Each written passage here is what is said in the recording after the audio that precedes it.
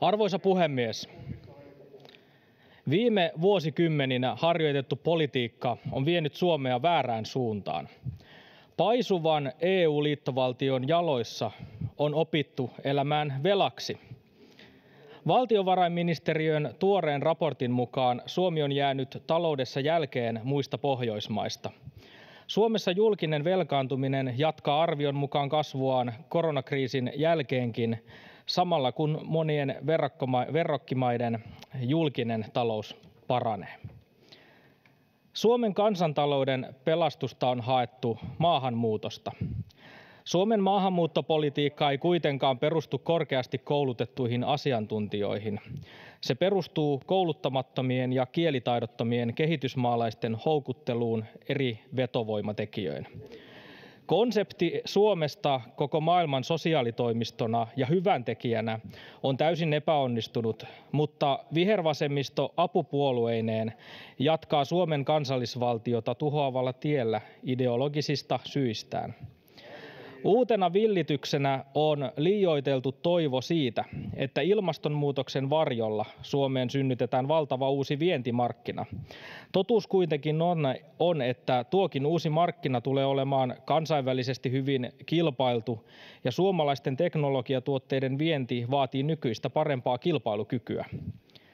Perussuomalaiset näkevät, että Suomen talouskasvua on pikaisesti ryhdyttävä parantamaan kilpailukykyä kasvattamalla ja kotimaisuutta korostamalla. Perussuomalaiset uskovat, että myös kevään kuntavaaleissa on pitkälti kyse siitä, mitkä puolueet asettavat politiikassaan Suomen etusijalle. Kotikaupunkiini Turkuun tilattiin hiljattain torin pinnan kivetys kiinalaisesta kivestä vaikka siis kotimaistakin oli saatavilla. Vastaavasti Turun ja Helsingin seudulle hankittiin kiinalaisia sähköbusseja samaan aikaan kun suomalainen bussitehdas lopetti tuotantonsa Lahdessa. Valitettavasti näitä esimerkkejä on Suomi täynnä.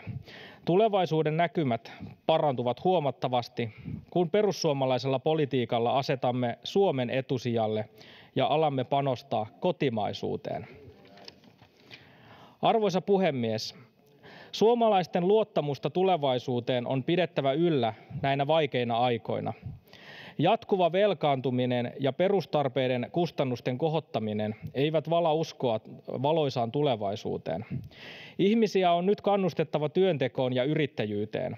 Oman työn tuloksilla pitää voida hankkia kunnollinen asunto ja ajoneuvo ilman, että joutuu elämään jatkuvassa epävarmuudessa ja pelossa siitä, mitä veroja ja maksuja vihervasemmisto seuraavaksi keksii. Viime elokuussa voimaan astunut bensiinin ja dieselin valmisteveron korotus oli kovempi kuin kertaakaan aiemmin tällä vuosituhannella. Kasvava verotus haittaa teollista kilpailukykyämme. Kasvavat logistiikkakustannukset ajavat tuotantoa pois Suomesta. Esimerkiksi Suomelle tärkeä metsäteollisuus kärsii suoraan Marinin hallituksen veronkorotuksista. Ainaisten veronkorotusten sijaan kuntien ja valtion tuhlailu on saatava aisoihin. Julkisen rahankäytön lisääminen ei ole kestävä tie elvyttää taloutta, vaan parempana keinona olisivat veronkevennykset.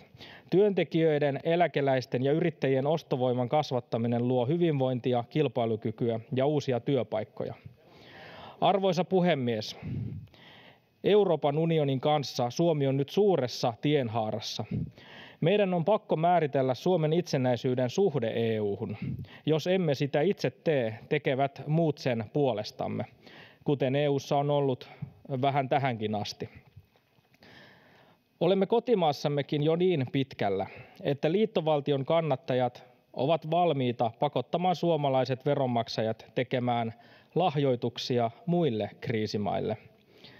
Suomen kansa ei hyväksyisi tulonsiirtounionia, mutta hallitus pelkää kansaa eikä uskalla järjestää EU-tukipaketista kansanäänestystä.